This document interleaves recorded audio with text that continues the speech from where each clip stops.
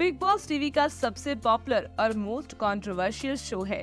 सलमान खान के इस reality show को देखने के लिए फैंस काफ़ी एक्साइटेड रहते हैं। एक सीज़न के खत्म होते ही दूसरे सीज़न का बेसब्री से इंतज़ार होने लगता है। अब तक बिग बॉस के 16 सीज़न आ चुके हैं और ये सभी सीज़न काफ़ी सक्सेसफुल रहे हैं।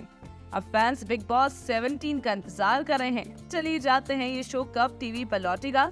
और इस बार कौन कौन से कंटेस्टेंट बिग बॉस सीज़न 17 में धमाल मचा सकते हैं? बिग बॉस ओटीटी का सीज़न दो खत्म हो चुका है और यूट्यूब पर एलविश यादव विनर बन चुके हैं। अब मेकर्स ने कलर्स पर बिग बॉस सीज़न 17 को लाने की तैयारियाँ शुरू कर दी हैं। कलर्स पर हमेशा से बिग बॉस सितंबर अक्टूबर के बीच ही शुरू हो जाता है। वहीं बिग बॉस से जुड़े एक फ़ैन क्लब पेज पर इसकी डिटेल शेयर की गई है, जिसके मुताबिक ये शो 15 सितंबर के आसपास टीवी पर लौट सकता है। यानी कि अब से 24 दिन बाद सलमान खान अपने शो बिग बॉस 17 से फिर से टीवी पर धमाल मचाएँगे।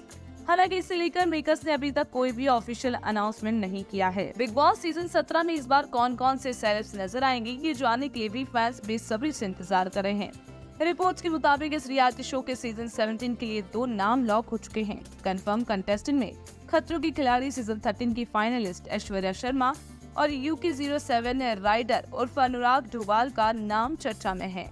इसके अलावा टीवी के कई फ़ेमस चेहरे भी बिग बॉस सीज़न 17 में नज़र आ सकते हैं। इसमें दिव्यंका त्रिपाठी, मनीषा रानी, जेनिफर विंगेट का नाम भी शामिल है और अब इन नामों पे कोई भी मुहर नहीं लगी है। वैसे अब जो ट्रेंड सेट हो चुका है बिग बॉस का, उसमें यही नज़र आता है कि जो राइजिंग स्टार्स हैं, यानी कि जो इंस्टाग्राम पे काफ़ी ज़्यादा या फिर सोशल मीडिया पे काफ़ी ज़्यादा पॉपुलर हैं, उन्हीं को ही बिग बॉस में इनवाइट किया जाता है। बिग बॉस का ये वाला ओटीटी सीज़न तो पूरा ही यूट्यूबर से ही भरा हुआ था, जो कि सोशल मीडिया पर काफ़ी ज़्यादा धमाल मचाते हुए नज़र आते हैं और एलविश भी उन्हीं में से एक थे जिनकी एक लंबी चौड़ी फ़ैन फॉलोइंग थी और आखिरकार उनके फैंस ने उन्हें जिता ही दिया था। क्या आप भी एक्साइटेड है बिग बॉस सीज़न 17 को लेकर? हमें कमेंट कर ज़रूर बताएँ, लेकिन तब तक के लिए आप हमारे चैनल को लाइक शेयर और सब्सक्राइब करना ना भूलें।